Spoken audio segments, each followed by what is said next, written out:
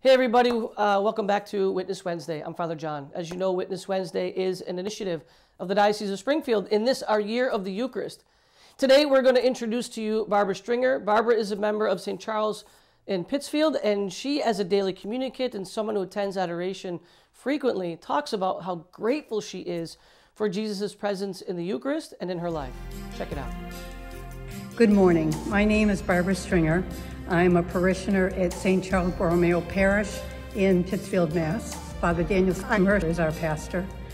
Um, what the Eucharist means to me the Eucharist is Jesus in body and soul and embedded there in that, in that host.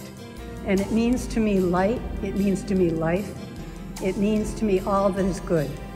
And when I consume that in my imperfect tabernacle, I pray that God will embedding, embed, embedding himself in me and let his light shine through me.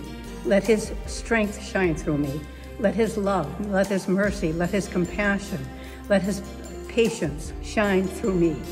And that, that gives me strength and courage and peace to go on with my day.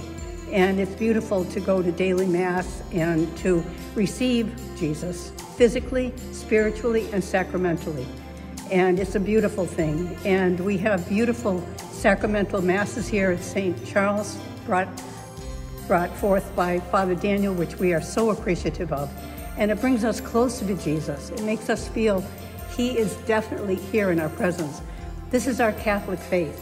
We believe that Jesus is here with us every single day, and that we have the privilege and the grace and the, and the mercy to receive him physically in Mass and we are privileged to do that. And I, I am so grateful that I'm a Catholic and that I can partake in taking Jesus into my body, into my soul, into my spirit every single day. Amen. Thank you.